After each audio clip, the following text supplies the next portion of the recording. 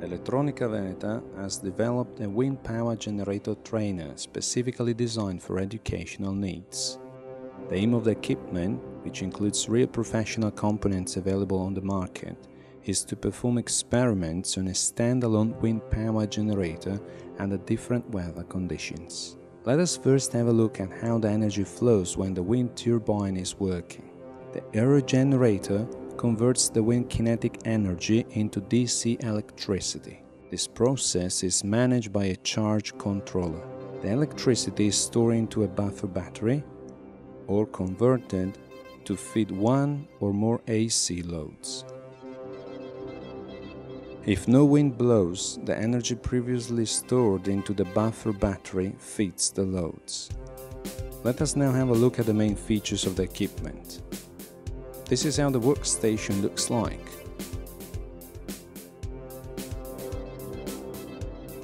This is the indoor operation device. An electric motor directly coupled to the aerogenerator shaft simulates the effect of the wind on the generator. Here we have the buffer battery, we can just place it on the floor. The control panel features the operation diagram and includes all the instruments we need for the experiments. Here is the DC AC inverter. Five lamps, the AC loads are fixed at the backside of the panel. The manual guides us step by step into a variety of exercises.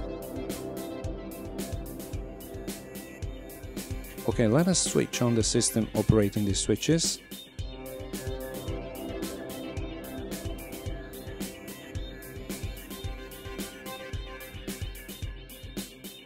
Let us also switch the inverter on, as well as some of the AC loads. No wind is powering the generator, so the buffer battery is currently feeding the loads. We can see here the wind generator output current, which is presently zero, if we use this selector, we can see the buffer battery current value, and if we switch again, we can see the inverter input current. The AC energy analyzer refers to the inverter output AC parameters. Let us now simulate the action of the wind operating the indoor device. And notice how the various parameters change accordingly.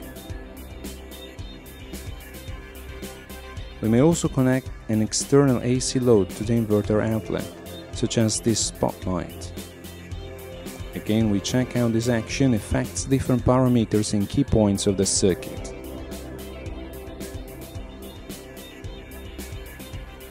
We can also use a personal computer running Windows for the data supervision. Just glancing at the screen, we can see in real time how the different parameters change.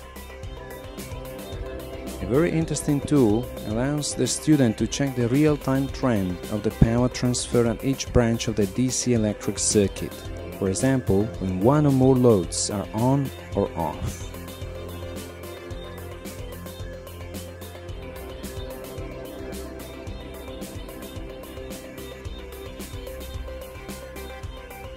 Let us now draw the power output versus wind speed characteristic curve. We gradually increase the motor speed to simulate an increased speed of the wind and plot the curve accordingly.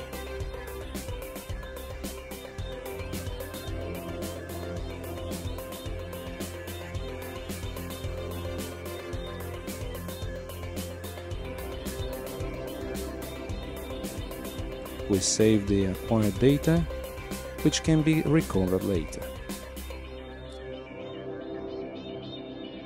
And finally, this is how the error aerogenerator that includes a wind speed and direction sensor can be installed outdoor, alternatively to the indoor operation device. Thanks for watching this video. If you need more information or a quotation, please feel free to contact us.